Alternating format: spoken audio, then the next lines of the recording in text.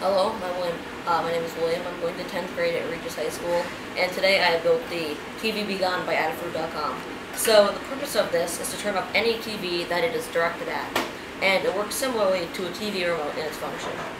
When the starting button is pressed, a signal is sent to the microcontroller, to the reset pin most specifically. This would reset the microcontroller, and it will replay the code it has preset. The code is basically to turn on these LEDs. But because there's not enough electricity being produced and sent by this microcontroller, these transistors are used to amplify that signal so the infrared, so the infrared LED's ability to perform will not be hindered. okay, so now that we have gotten the signal all the way to the LEDs past the transistors, how do we get it to work with any TV? Well, the microcontroller here is connected to a bunch of servers, and these servers each contain the different signals needed and the different types of signals to turn off any TV sold in North America.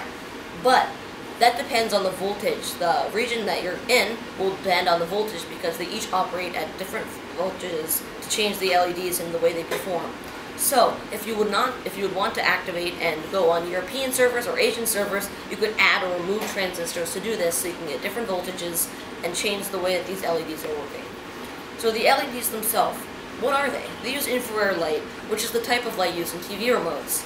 And it's quite simple, in fact. The light is not visible to human eye, and that's why it's very special and good for this use. In addition, it has good range and can bounce off walls and such. So, in addition, these lights each have different functions. You may just think that they look different and are different colors because that's just cool.